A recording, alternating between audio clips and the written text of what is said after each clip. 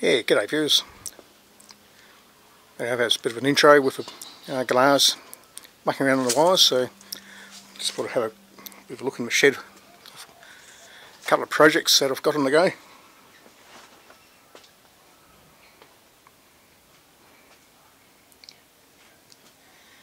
Yeah, I started cleaning up one day and yeah, chucked a fair bit of stuff out. So the place is a lot, lot tidier than it used to be.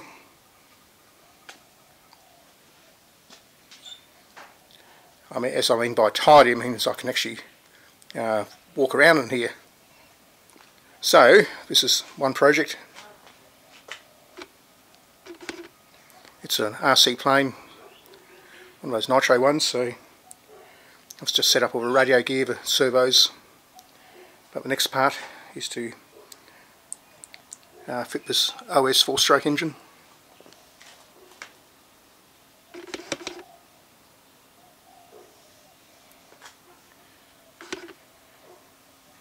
And uh, the other thing I was going to have a look at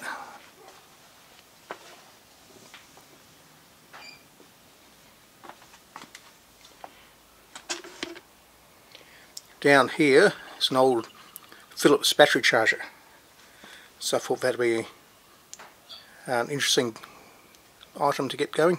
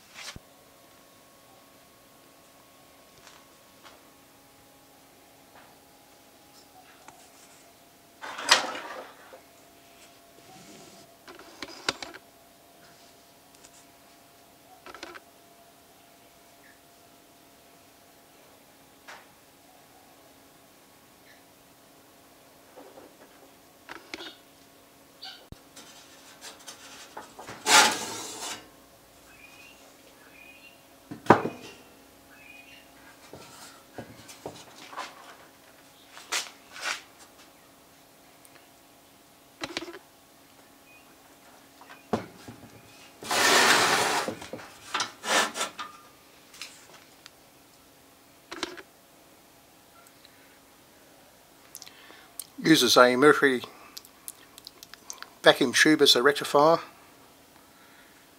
and uh, a couple of ballast lamps to regulate the current running to the battery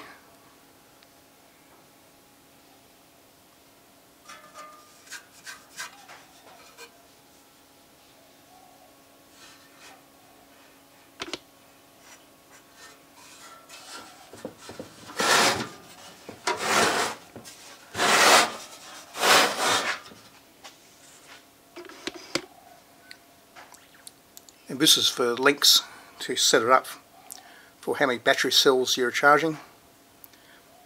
I think it's about on the first link it's about charging three cells or so and then the other link is about six to eight cells something like that.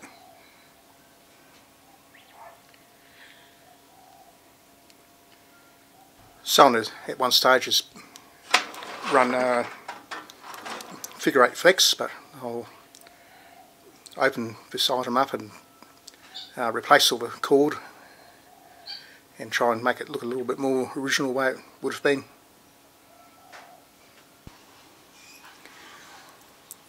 Been trying to find some information on this battery charger. Made by Philips in Holland.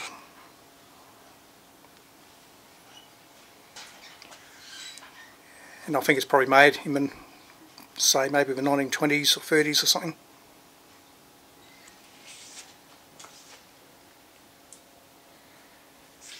I'll just turn it around.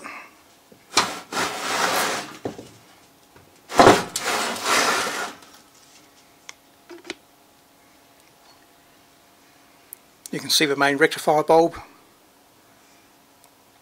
and it also has two uh, Barretters it's a device to maintain steady current flow, uses an iron filament in a hydrogen gas atmosphere.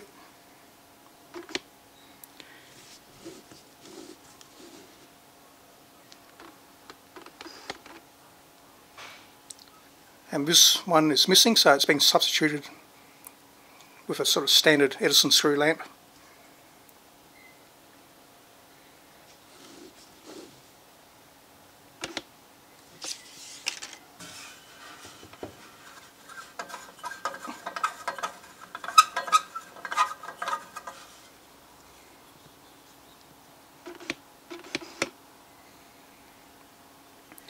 Anyway, I had a bit of a hunt around uh, boxes of valves and things I've got and I found a, a very similar type of Barretter. I'll just put it down here and we'll have a bit of a better look at it.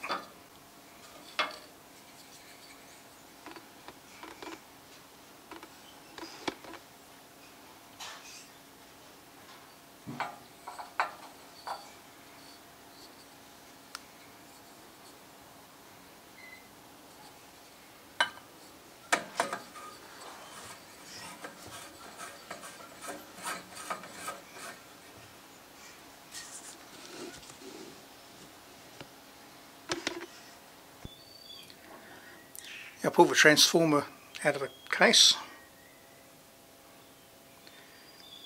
And the primary windings are 6 ohms so they seem to be okay and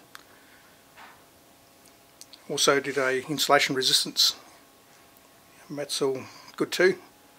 No sign of leakage in the windings to ground so I think this transformer is still intact and should be good to go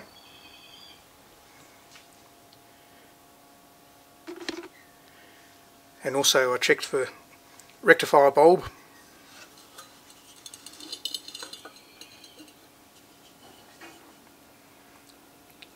And the filament on that is intact as well.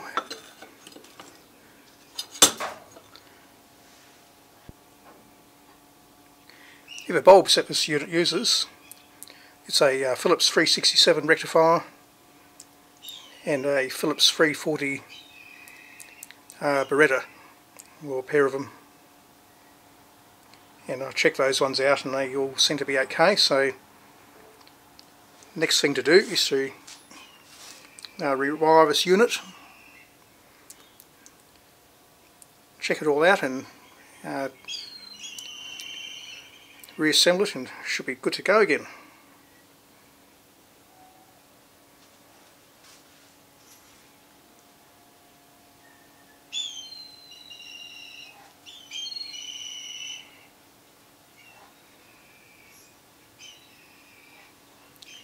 yeah, those hawks are making a bit of noise out there.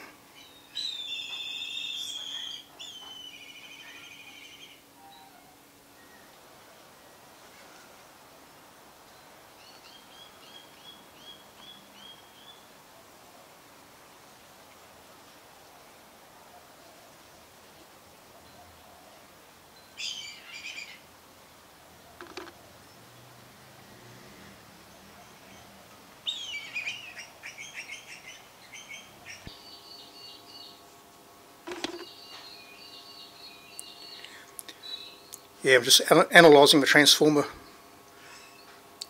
So I've got it energised and just measuring the uh, filament voltage for the rectifier.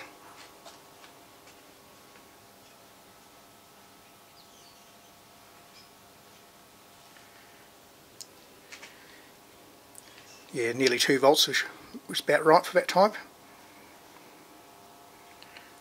And I've just got it going through a Variac. So this battery charger is a 240 volt one and then I'm just monitoring the current. Just inspecting for any uh, shorts, shorter turns that may cause excessive current draw and, and I'll check the windings in a while to see if they're getting hot or anything. But yeah, no, so far it's looking pretty good.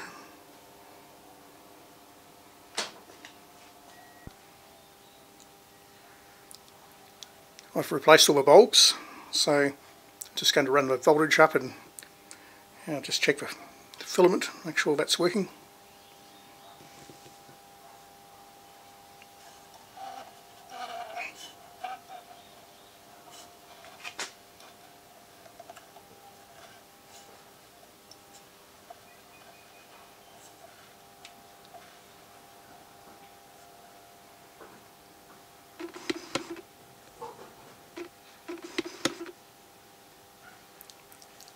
180 volts.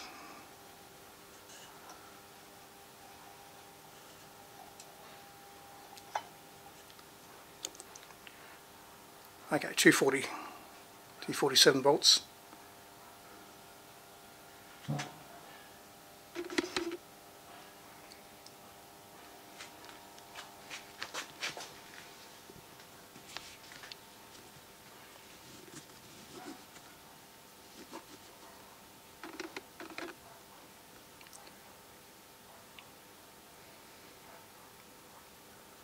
Yep, certainly activity in that bulb. Uh, the filament's running.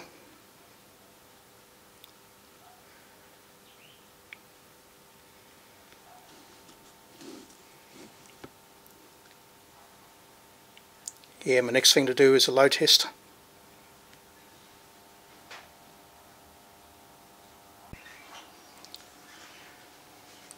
Right, I've got the voltmeter set up on this battery here. We'll use that as a test load and we'll uh, just uh, watch the rectifier and see if it ionises.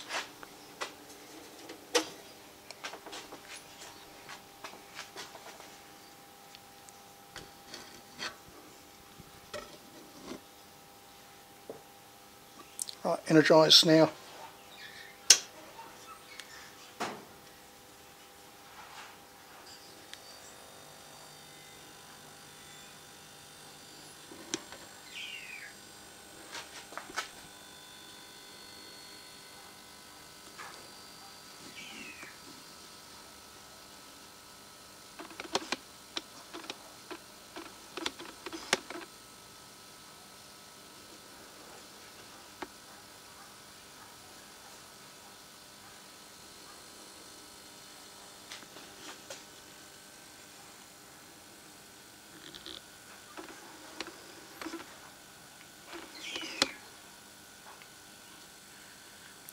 Yep, 17 volts.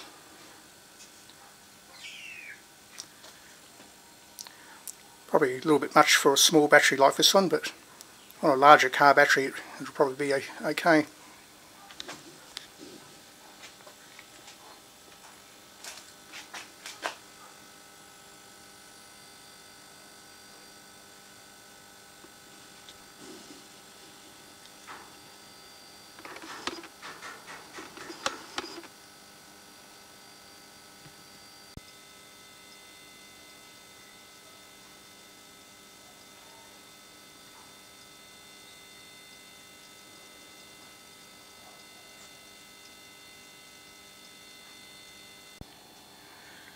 Righto folks, that'll probably do for now, but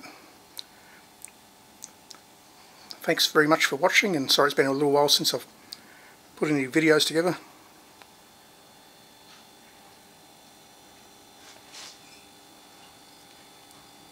Well, till next time, stay safe.